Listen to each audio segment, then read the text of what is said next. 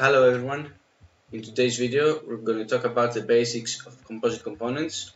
We're going to see what is a composite component, how to create one, we're going to edit its properties and add events. So let's get started. First of all, we can think of composite components as a junction of many different components in one. You can find composite components ready-made in the composer here. As you can see, I have uh, listed some here so you can understand what we're talking about. Even if it is less likely to create a composite component than using one, we're going to see how to create. So the first thing is to get a container and then we can add anything we want. For example, we can have a headline and an icon. We can turn this container into horizontal layout and align the components in the center. So let's say that we want to turn this container into a composite component. To do that, we have to go to properties and use this button convert to new component. And okay. Now we're in the editor of the composite component. So if we check any other composite container, we can see that in the properties, there are different properties for that container. If we want to add such properties in our container, we can go on to the composite component, click this button to open the editor. Next we can go to properties, add new property, and we can call it title. Now there are two ways to bind this property to the component you want. We can do it from here. This is the content of the title. Or we can go here, click on the title and bind its content to the composite property title. We can also set a preview value we can now exit the editor by double clicking in this area or pressing the exit button.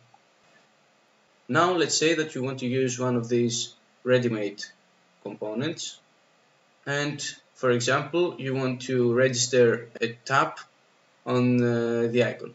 To do that we have to create an event, bind it in the tap event of the icon in the composite component. So let's do that now we will open the editor. Uh, we want to go to properties events and add a new event. Let's call it icon tap after that we want to go and click on the icon. And in the component tab we want to add a trigger event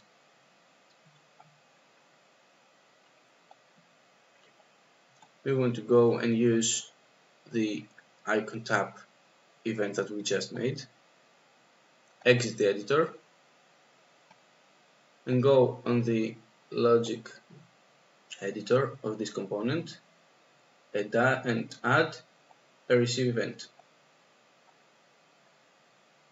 We can choose the event of icon tap and then it's up to you to connect anything you want to this event. Lastly, let's see one more detail that I think it's important to know. In the previous video, we used the input field to add this extra information because we wanted to use it as a phone number input field. But as you can see, from now on, every input that we use has this appearance. To change that, we need to edit the original component.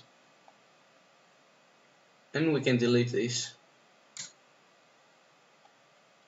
So what we're trying to do is bring this component to its original state. Now any input field we use has this appearance.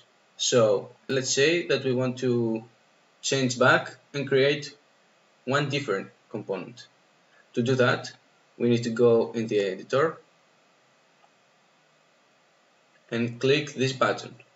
Clone as a new component. Okay. So from now on we can change this specific composite component without changing any future input fields that we use. To prove that we can go on to add a container set it to horizontal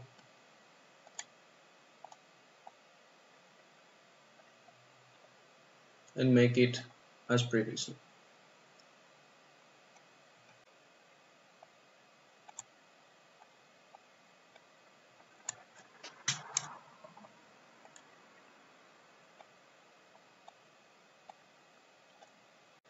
So if we exit the editor